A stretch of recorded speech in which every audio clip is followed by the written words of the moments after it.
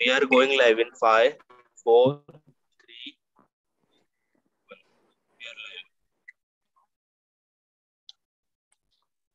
Good morning, everyone. Uh, welcoming you all to in today's Fellows Academic Round. Today, we have few interesting cases that will be presented by Fellows, and our keynote speaker is Dr. Uh, Anil Agarwal, uh, and he will deliver his speech on osteoarticular tuberculosis in children and their verified presentation and diagnosis. Me, along with Dr. Shalin, will be the moderator of this session. And you all are requested to keep your uh, microphone mute and put your questions in the chat box. Regarding Dr. Anil Agarwal, Shalin, can you share the PowerPoint presentation? I can't share it from this screen. Yes, I have started sharing. Okay, so um, uh, he is the head of pediatric orthopedic surgery uh, at Chacha Nehru Bal Chikitsalaya and over 200 uh, publications with a book uh, that named Osteoarticular Infection.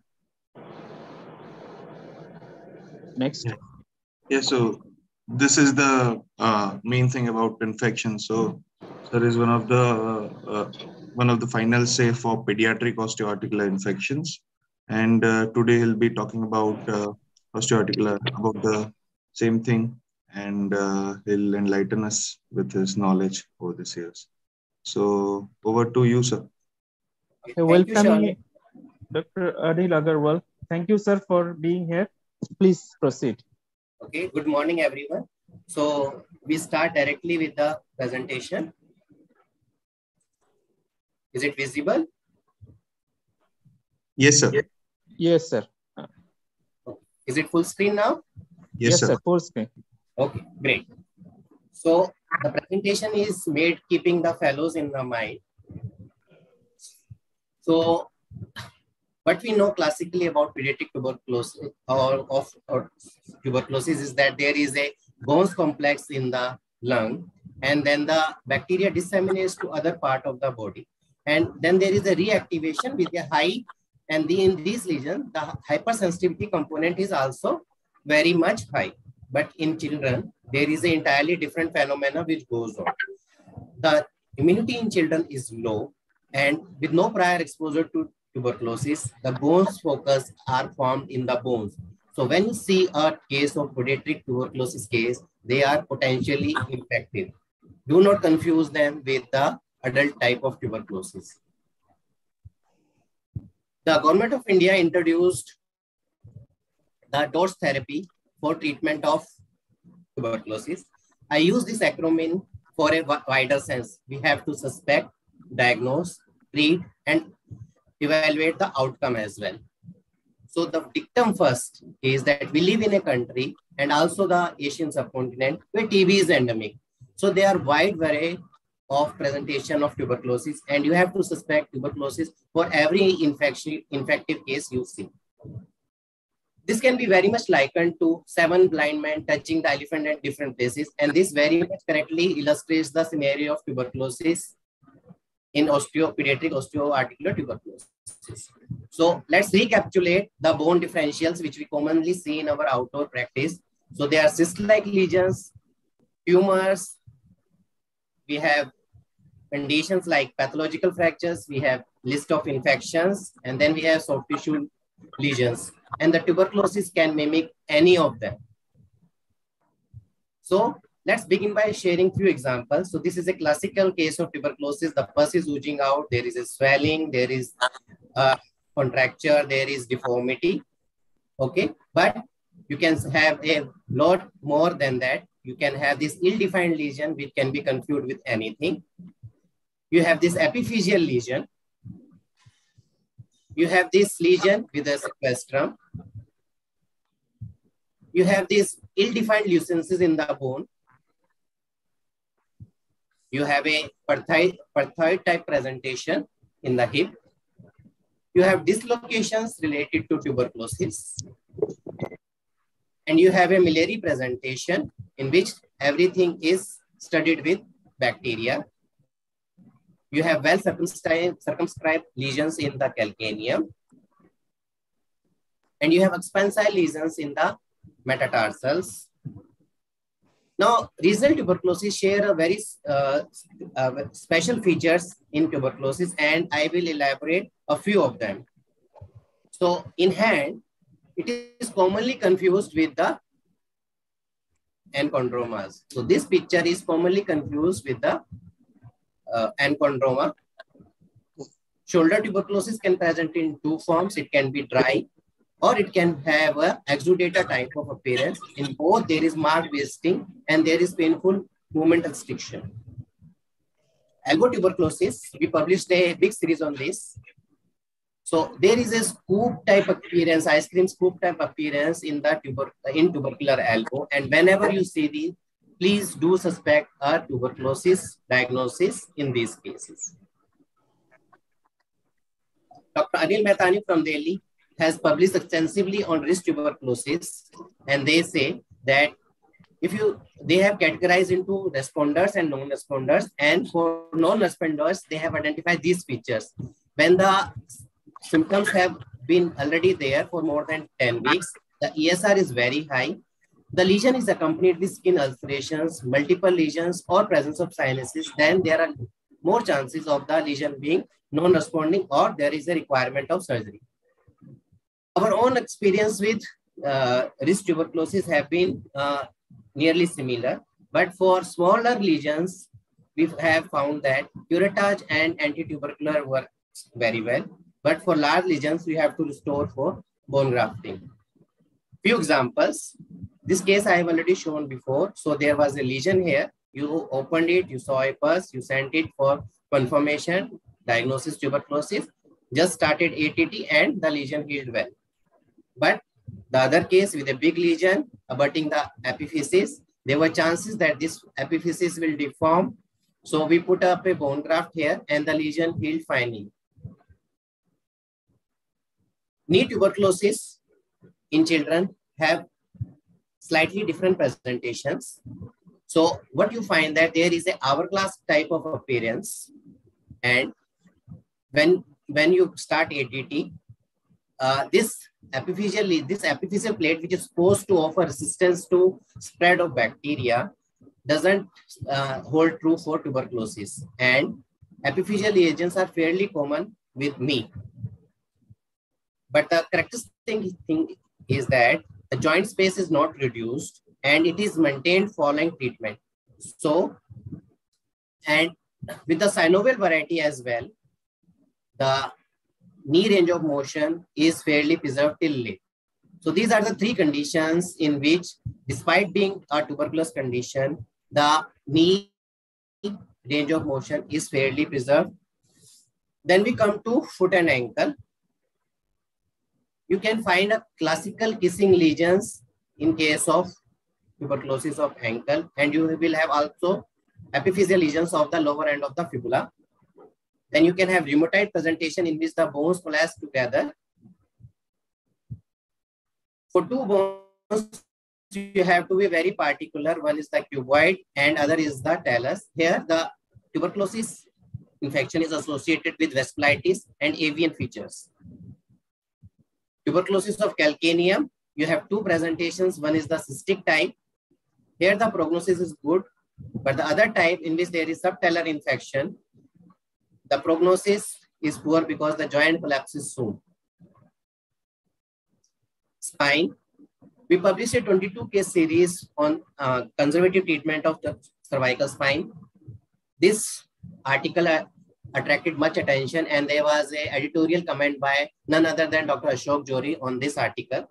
So what we found that you can achieve good results with conservative treatment, just no surgeries are required, even in cases with neurological affection. And the bad prognostic features is when you have consecutive vertebral involvement, which involve more than 50% of the height of vertebra. To give you example, here is a case in which you find two consecutive vertebra, there is abscess. Just by starting of ATT, the lesion healed well and you can appreciate a bony fusion in the follow-up x-rays. To give you a few quick update regarding the new developments in the spinal tuberculosis. Use of implants is now no longer considered uh, contraindication in presence of tubercular infections. You can very well use pedicle screw, titanium mesh, autografts, and even do subtraction osteotomies in cases of uh, kyphotic kyphosis due to tuberculosis. Now, there are several atypical presentations related to tuberculosis. The foremost is the acute presentation. Here, the signs are present just for 10 to oh, almost 28 days, what we, uh, our study said. And you will you cannot distinguish between acute suppurative infection and tuberculosis. We also were not aware of this entity and we used to drain, but when the lesion didn't heal in this particular case, we took a edge biopsy and sent the tissue for histopath, which came out to be tuberculosis. So the duration of symptoms can anywhere between 4 to 28 days. This has close resemblance to acute suppurative infections and diagnosis will be missed if you just send aerobic and anaerobic cultures for your abscesses. Then can be multifocal osteoarticular tuberculosis in children, two lesions, 12 lesions, almost in every part of the body. But there was an interesting observation. All these patients were immunocompetent and the appendicular involvement was much more than the axial one. Residual deformities and restriction of joint movements were so common in these patients. Epiphyseal tuberculosis, I have shared a chapter with Dr. Molling and most of our cases were tubercular rather than staph. So what I will show you example, you can see a swelling, the range of motion was well preserved. And you can, when we got an MRI, you can see an enhanced lesion at the edge of the tibial epiphysis. The epiphyseal lesion can occur in other bones as well, like shoulder. The treatment remains the same, the curettage. And post-treatment, you must uh, be aware that these lesions can persist for several months. And uh, what we believe that these are filled with fibrous tissue after the conservative treatment. And there are rare sites and rare case reports regarding the clavicle, sternum, and the uh, great toe, but we will not discuss them here. So we move on to the next section of the talk, that is the diagnosis. And I think this is the most important for the fellows. If your findings strongly suspect tuberculosis infection, you should put effort to prove otherwise. Okay, we have now almost in our my center achieved a 90% success rate of diagnosis, uh, histopathological diagnosis of, of getting a histopathological diagnosis of tuberculosis in the cases we suspect tuberculosis. And this is the methodology we apply. So how do we diagnose tuberculosis? We have three modalities like in every case, imaging, laboratory, and clinical radiological basis. And in imaging, you have a whole spectrum of uh, modalities available, but the findings are generally non-specific the imaging help us to localize the lesion and to know the involvement. Regarding the blood investigations, nothing is again specific and we do not use IgM and IgG antibodies against tuberculosis nowadays. The ESR can be used to monitor the disease activity in cases in, it, in which it was raised initially. The main problem is sample collection. What we usually do when we uh, operate upon an abscess case or an infective case, we usually send persons for aerobic and aerobic culture and tissue for histopath. Let's see how this behave. So when you eat a, when you have this example of nariyal pani, so you have a liquid and you have a malai portion. Okay. So when you put the needle in the abscess, okay, the center portion is composed of necrotic tissue and dead material. Okay. So, so when you aspirate the abscess and send it for aerobic and anaerobic culture, the yield is low. The tubercular bacteria is a sort of royal bacteria which like to live near the blood vessels. So unless you take tissues from the edge, you are most likely to miss it. So what we do, we obtain at least 9 to 10 samples for every case suspected of tuberculosis, starting from the skin edge, pus, granulation tissue, soft tissue, bone curettings, lymph node, And in case of joints, synovial tissue, joint fluid, and all other involved sites in one go, and send them for multiple tests. You will understand the importance of this methodology. Sorry. Yeah. When you see this table, so when you aspirate from the center of a abscess and send it for AFB staining, your positivity rate is just 10 to 30%. And if you say that your uh, lesion was not tuberculosis, you are mistaken. You send it for solid culture media. Again, your culture sensitivity can vary anywhere between 30 to 80%. Okay, so both the method you have employed and still your combined success rate will vary from 40 to 100%. So if you have obtained multiple samples, okay, any of one of them will uh, reflect the bacteria. Nowadays, this test molecular analysis have increased the both specificity and sensitivity related to tuberculosis. One thing I want to touch, which is also commonly used in our outpatient department, is the tuberculin test and the correct interpretation of this test. So we all know how it is done. It is the induration, not the erythema, which is red. Less than, uh, greater than or equal to 5 mm means that the patient has a prior exposure with tuberculosis. Greater than 10 mm, there is an increased risk of infection. And greater than 5 mm in a child greater than 4 years requires TST. When the tests are negative, they don't mean anything.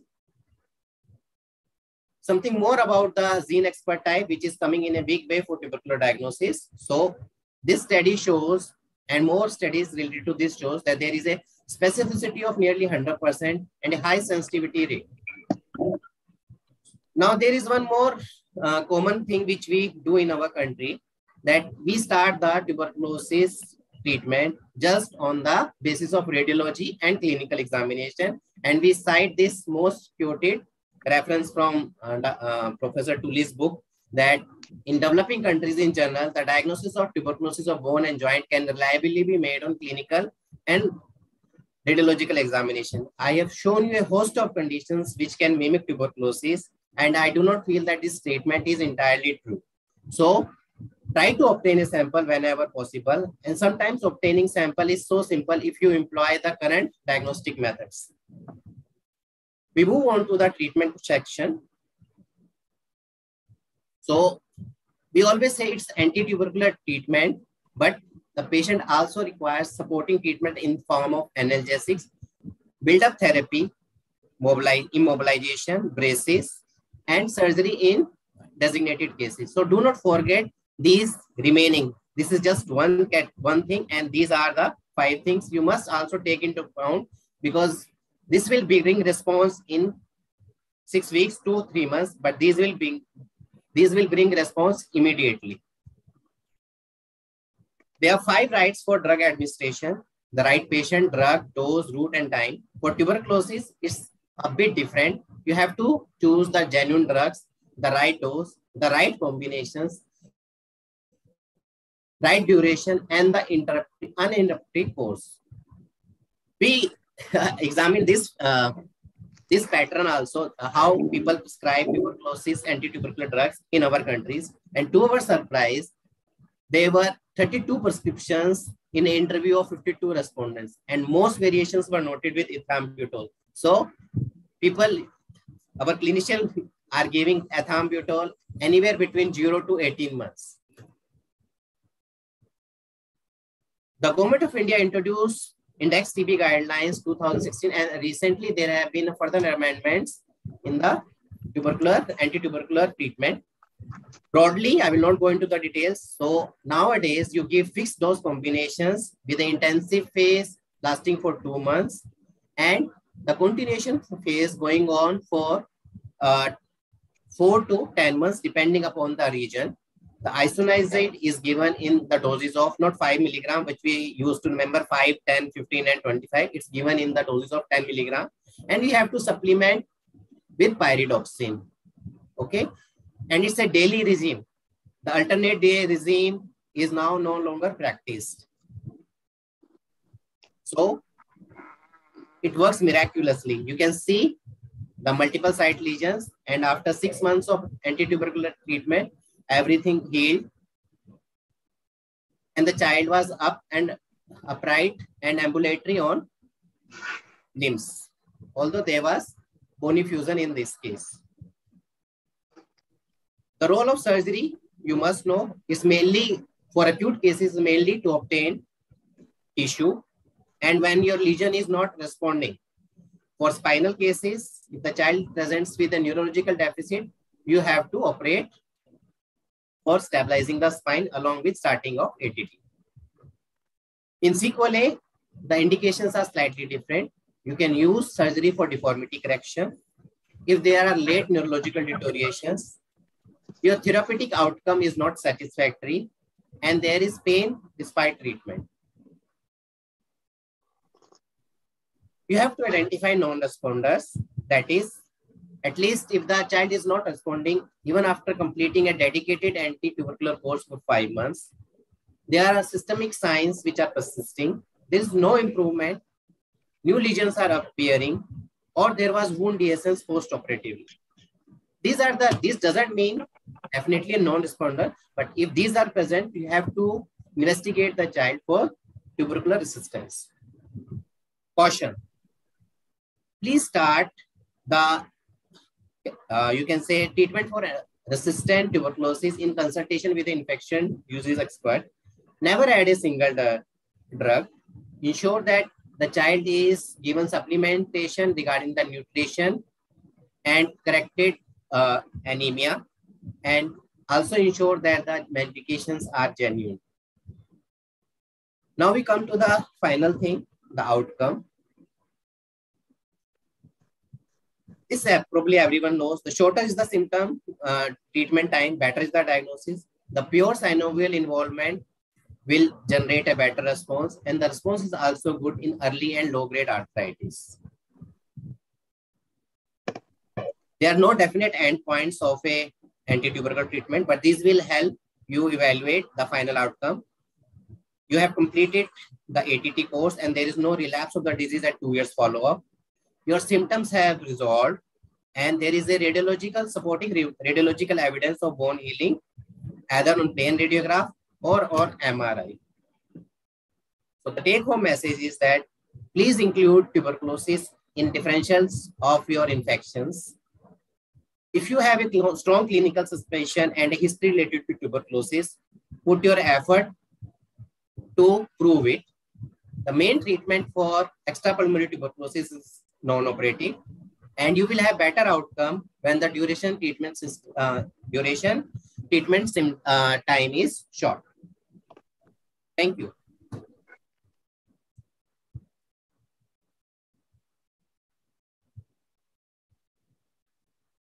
Over to you, uh, Professor.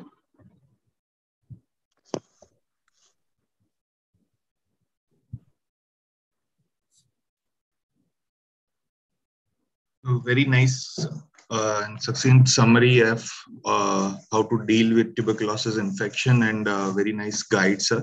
So we have already a few questions uh, coming in. One is, uh, what is the role of adding rifampicin in case of non-tubercular infections. So I think a lot of guys do this. They ask us uh, when uh, when there are not much antibiotics which work to add rifampicin along with the IV antibiotic dose. So uh, do you have any idea with that, sir? I would recommend against it. Okay. Rifampicin is one of the first line drugs for tuberculosis okay? And you have to reserve it we don't want the resistance to come against rifampicin. Okay? Then we have uh, we left with no other drug. So if your lesion is not responding to classical antibiotics please consult a infectious disease expert and you will find a way out. But starting rifampicin is not the way out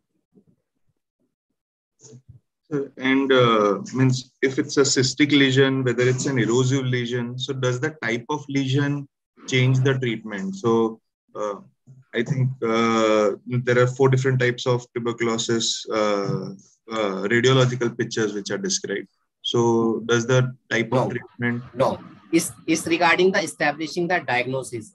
Only in cases when the lesion is very large, okay, and is near the epiphysis tuberculosis now like any other osteomyelitis, if the lesion is large and you expect there is going to be a pathological fracture or uh, there is a collapse of bone likely during the course of treatment, go ahead, bone graft it and start the anti, anti-tubercular treatment.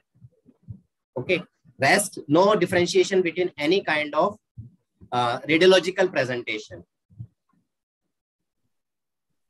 Yes, sir. Um, and what are your uh, uh, indications for getting an MRI? Means when it is near the uh, epiphysis or physis, do you get an MRI or uh, it's a routine for diagnosis of all chronic osteomyelitic cases?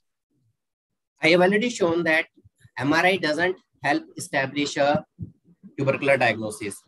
So MRI for, for me, MRI is a part of investigation of any infection like I investigate a chronic osteomyelitis.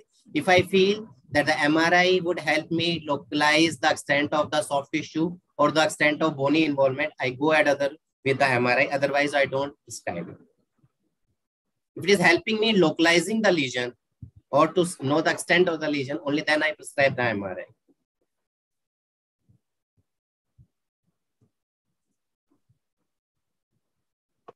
I think the first case you showed was a very small child. So in infants, does the treatment or the the uh, does it change in uh, very young cases? No. Especially Ethambutol is considered safe nowadays in younger children as well. Dispersible tablets are available. And for uh, other types of drugs, we have syrup forms also available. So my treatment doesn't change with the age of the child.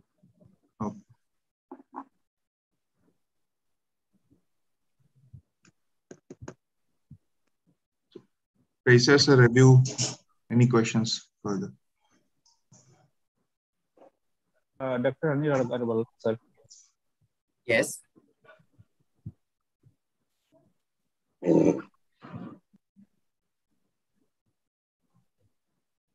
I think uh, Gaurav wants to present uh, present a case uh, case scenario. So I think we have time. Go ahead, Gaurav. Good morning, sir. I think I'm audible to all of you. Yes, yes. Please okay, sir. Thank, thank you, sir, for the wonderful presentation. It's always very, very uh, exciting to listen to you on TV. So I had recently had a case where the child had foot swelling from few months. X-ray and MRI was showing some edema and lytic lesion in the bone. I went in and did a biopsy. Didn't found any pus. Biopsy was negative for uh, any infection or any other it was just showing non-specific inflammation. I gave antibiotics for some time. The wound never healed. Now it is oozing pus. I had a word with the infectious disease specialist. She says that we can add rifampicin and her logic is that it helps in breaking the biofilm. So i don't know. Now the wound the wound heals and again it starts throwing some pus. I tried to examine the wound. It is not very deep. It is, I mean, superficial to bone, but the wound is not healing. So, how to go for this? Uh, Gaurav, uh, my recommendation would be to go in again. Okay. okay. And uh, um, you have take, already taken the opinion of the infection disease expert, and I do respect her, uh, uh, uh, whatever she experienced. But Rifampicin, I would like particularly like to reserve for uh, tuberculosis cases. I have already given that in my statement. So right, I would like right. to go in again and for and this time go prepared. You are suspecting a tuber. Do are you really suspecting a tuberculosis in this case? Sir, I got all the tests, GeneXpert, everything. Everything was negative. I took no. sample from three sites. You have already examined it. Right, sir. You have already sent multiple samples. Uh, the first time when I took the biopsy, I sent multiple samples. Uh, wherever there was inflammation in soft tissue and bone, I, I sent samples. Mm-hmm. Everything was negative. So you have already examined the child histopathologically and uh, laboratory wise for tuberculosis. So you can follow the advice of your infectious disease expert, Gaurav. Right, sir. That, that, that will be in control situations. Right, sir. Okay, sir. Repeat MRI was also done after I mean, two MRIs have been done after monthly uh, how, gap. how can that help? How can that help? I just wanted to see whether there is anything left, there is any collection, or I have left something. But they all say that there is some inflammation and nothing else. There is nothing to drain. Infections are a difficult thing, Gaurav. there is not such no such thing. Right, sir. Right. Sir. That was also one of the questions. So in uh, spinal tuberculosis, there is a we know a role of uh, interval MRI to know whether the AKT is working because we are treating most of them conservatively. So in other osteoarticular tuberculosis, uh, uh, not for the diagnosis, but for the treatment part, is there any role of MRI or only in those cases where we have started AKT clinically and have not been able to put up a histopathological or a microbiological diagnosis? Shalin, my my take on this is that I do not get a MRI after I start the ATT unless the child is not clinically improving. Okay, I have already given you markers when I will label it a non-responder.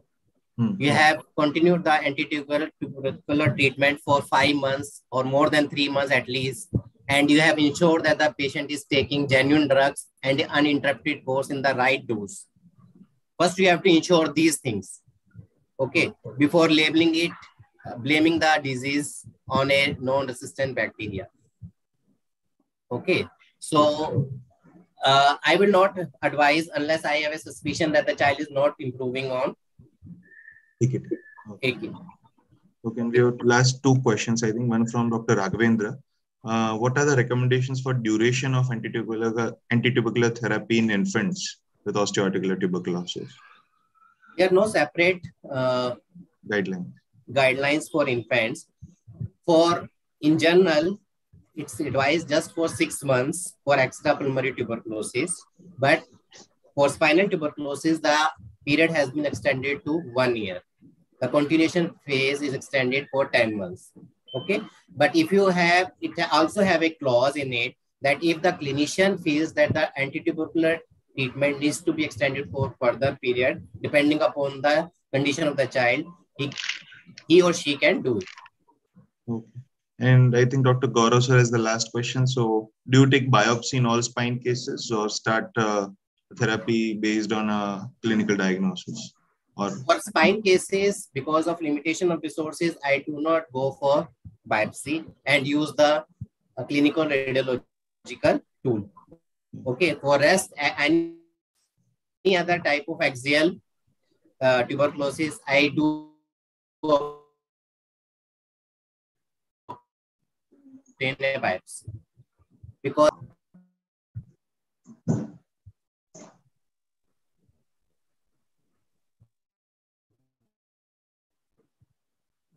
Okay. So I think uh, we'll move on to the cases presentation. I think Dr. Meet will be presenting the first case. Uh, so Dr. Meet. There was a there was yes, a query from Dr. Molin. Yeah, I think, uh, but I don't. Yeah, it's from Dr. Sudhanshu. It's regarding the sternal tuberculosis paper. I don't think Molin sir is available right now. He's joined in on. I'll check up with him. And sir is traveling actually, so I yeah. don't think sir is joined today. But I'll uh, get back to this on the group for these questions. Okay. Yeah. So am I audible? Yes. Yes, and screen is full screen. Go ahead. Oh, okay, sir. Uh, so today I'll be presenting a case uh, and uh, it is titled Are All Epiphyseal Osteomyelitis Benign? So we have a five-year-old female who presented to us with right knee swelling and limp since the last three months.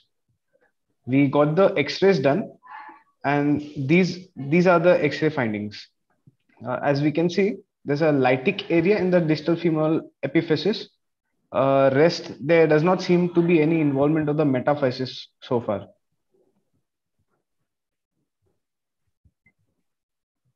So uh, what would be the next step for this? Unfortunately, patient uh, we had actually advised uh, a biopsy, uh, an MRI followed by a biopsy, but patient was lost to follow up. So now she presented three years later with a right knee fixed flexion deformity of 40 degrees. So these are the x-rays that we currently have. As we can see, the uh, there's a deformity at the knee, and otherwise uh, there does seem to be some osteopenia of the uh, epiphysis as well, distal femoral epiphysis.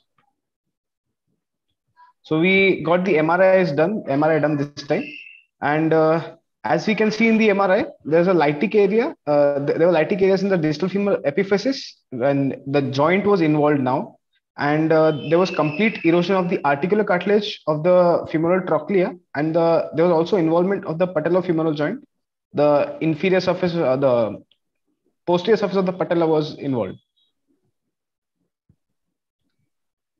this was a paper which was published in jpo 2020 uh, it was done in uh, 18 children and uh, it was based on uh, primary epiphyseal osteom- osteomyelitis it, uh, it said that patients with tubercular epiphyseal osteomyelitis present later with the predominant symptoms being limp and swelling, whereas pain was uh, either mild or was negligible. Whereas patients with Staphylococcus uh, epiphyseal osteomyelitis, which is uh, one of the most common organisms, they present uh, relatively earlier because of the aggressive nature of the organism, and uh, they presented with severe pain and an inability to bear weight over the affected limb. So uh, we went ahead for a biopsy, and uh, this is uh, what we have. i will play the video right now. So as we can see, uh, we have uh, entered the knee joint, and uh, the in, there was involvement of the inferior surface of the patella, the medial facet,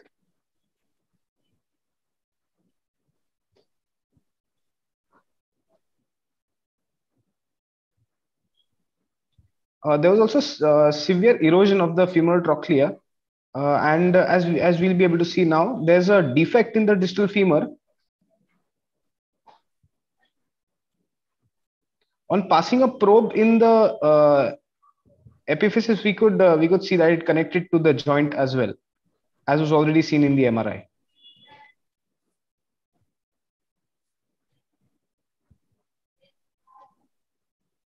So uh, we uh, sent all, all, these for biopsy, and uh, the biopsy came positive for um, Mycobacterium tuberculosis. Uh, we started the patient on AKT, Uh, and uh, the AKT was continued for one year. And at the end of uh, at the end of two weeks post surgery, we removed the stitches and uh, we started gradual weight bearing for the patient.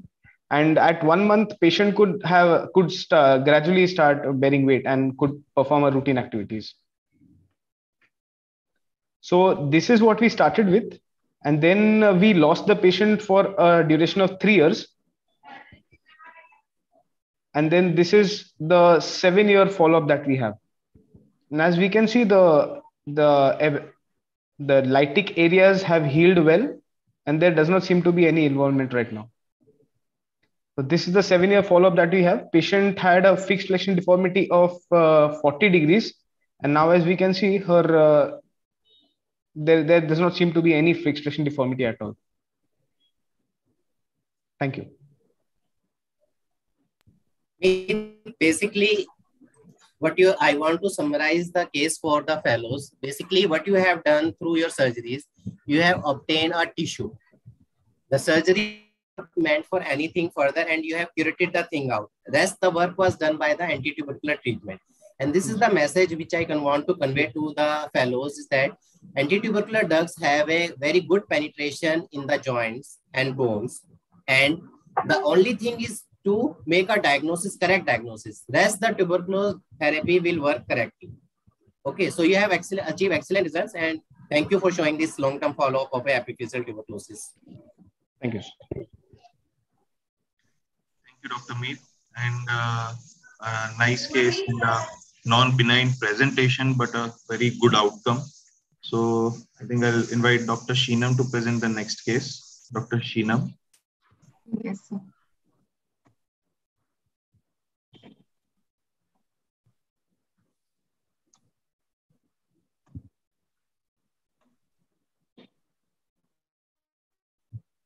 Uh, just give me a minute.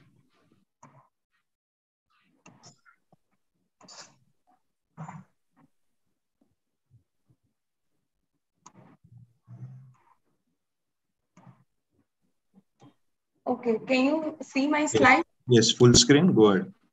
Okay.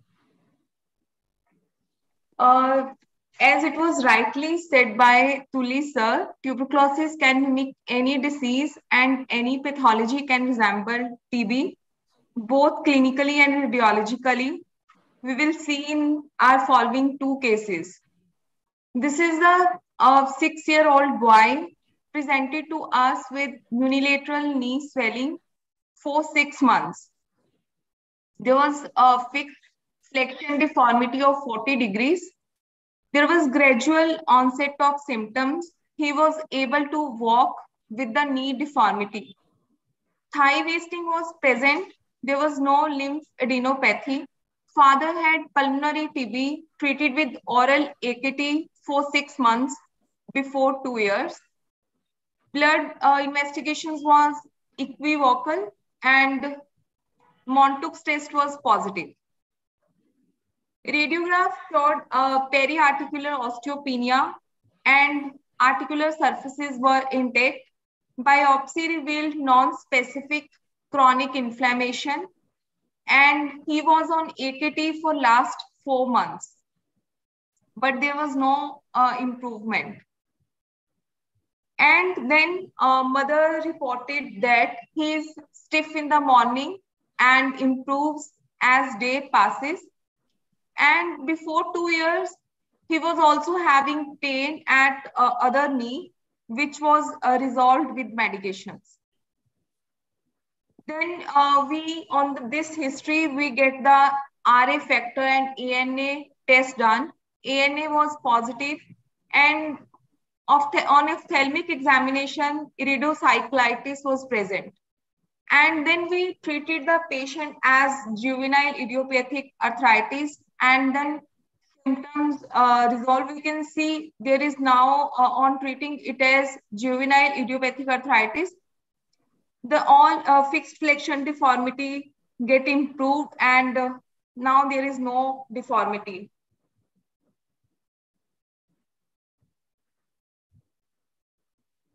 uh, empiric uh, AKT should show clinical improvement. If it fails to show, then we should think uh, other diagnosis or it may be MDR TB. This is a this is second case about one uh, about one and a half year old girl. She presented to us with swelling along the right knee for nine months. She was vaccinated Father had pulmonary TB, which was diagnosed nine months ago, and he was treated with uh, AKT for six months. This patient has no uh, knee flexion deformity, as we can see in the picture. There was full range of knee motion, but there was terminally painful movement. This is a radiograph. We can see there is synovial uh, thickening and squaring of epiphysis maybe due to uh, thick synovium pressing the epiphysis.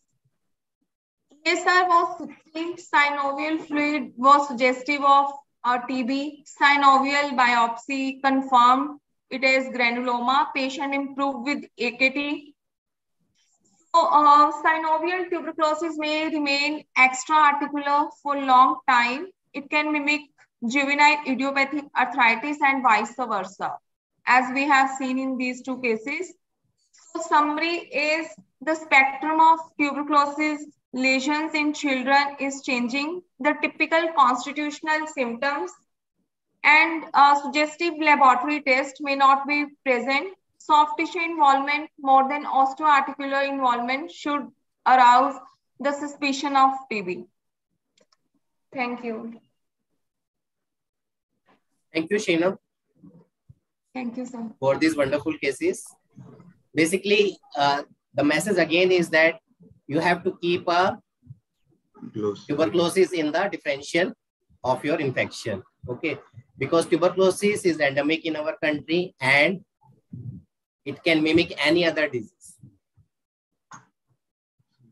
Uh, rightly said, and this this cases are just uh, demonstration of what Anil sir taught us that you have to keep a close clinical watch in cases you have not got a histopathological diagnosis, and if they are not improving, you should uh, uh should raise your antennas to other diagnosis. So nice two cases and good learning cases. I think one one last question from Dr. Gaurav sir and which other extrapulmonary tuberculosis cases do you start a uh, antitubercular therapy on clinical or MRI suspicion apart from spine? So, so as to ensure that MDR-TB is not there from the start. None, none. For all axial tuberculosis, all axial lesions, I tend to obtain a biopsy. Okay, and the diagnosis of MDR is not a clinical diagnosis; it's a culture diagnosis so if the culture shows a resistant bacteria, you have to go for treatment that way. So, so it's uh, so I think we have uh, finished all the cases for today, and we have okay. had a great uh, uh, talk about tuberculosis. So, if any other questions, if we have for this, otherwise we will go on to conclude the session. Any uh, last words, sir, Anil, sir? Uh, just uh, send samples adequately, okay? And don't, uh, the first sample is the primary sample which you send. Like Gaurav told, he has, now if you have sent the samples adequately, you can be sure of your diagnosis. If you have not sent the sample, just send the aerobic thing and the anaerobic thing. Then you, when the lesion doesn't heal, you have a bad thing going in your mind. I, could it be tuberculosis? You have to sure, you have to ensure that the diagnosis is sure in one go. Don't take, uh, don't uh, try to obtain multiple samples like putting the child again and again under anesthesia. During the first under GA examination or first under curate, GA curatas, please do send samples for tuberculosis.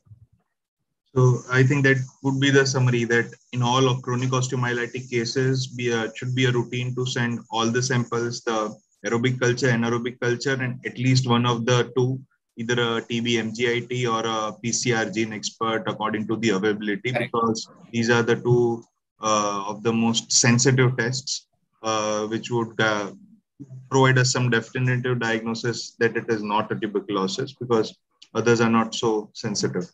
So, uh, thank you, sir, for your time and uh, okay. valuable insight on this topic. Thank you, sir. Thank you, Shali. Thank you. Thank you, sir. So, so nice to talk with you. I think we should talk again in future regarding some cases. like um, the question that I didn't ask is like, have you ever faced a atypical mycobacteria? in uh, in your case series or anything like uh, the the MT test is uh, sometimes false positive and sometimes false neg- negative and uh, the infection disease specialist is trying one or two or three antibiotics but they are not improving well. And at some point get fed up and we decide okay let's start rifampicin. Let's see how it behave. And sometimes that behave well.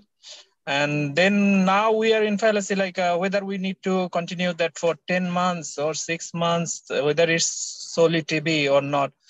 Maybe we should talk later uh, in in details i i think cases we have lost anil sir so i will have to take this question up on the group.